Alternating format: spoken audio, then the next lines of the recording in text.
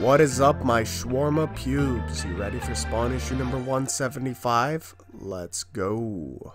On the first page, we have a hooker, and then we have a man who's forced to talk to the hooker through the gunslinger spawn, because the gunslinger spawn is pointing a gun at the back of his head. Then downstairs, the guys are talking about all the bad shit that they're doing. One's like about to start a monopoly, yada yada yada, and then the dude's bloody mask falls from upstairs. And then we get an absolutely badass fucking shot of the gunslinger spawn holding the man with his face ripped off and like from a fucking noose. It's fucking awesome. Look at that shit. The men try to shoot the gunslinger spawn, but he's a hell spawn, so earthly weapons don't affect him, so they just go right through him. A dude shoots a shotgun blast through his chest and he looks at it and he has green blood and he's like, oh, what have I turned into? Then he shoots the dude who had the shotgun in his hand.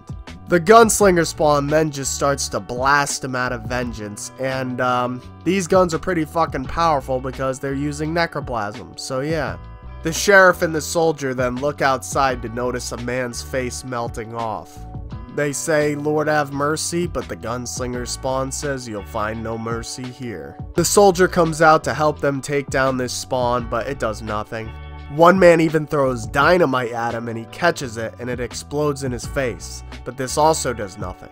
So the gunslinger spawn then takes the dude's dynamite, shoves it in his mouth, and lights the fuse. Yeah. The gunslinger spawn jumps down, taking out the sheriff, and then he grabs the soldier by the throat. But then Mammon arrives and saves him. After killing every man, woman, and child in this town, Gunslinger Spawn keeps the other man alive, keeps the black soldier alive. You want to know why? Because he is part of the Al Simmons bloodline. Dun dun dun. And then the gunslinger spawn looks over the fiery graves of all the dead people that he has slaughtered. That, my friends, wraps up Spawn issue number 175. Like the video if you enjoyed the video. If you didn't enjoy the video, don't be a pussy. Like the video. I'll see you guys in the next one. Bye.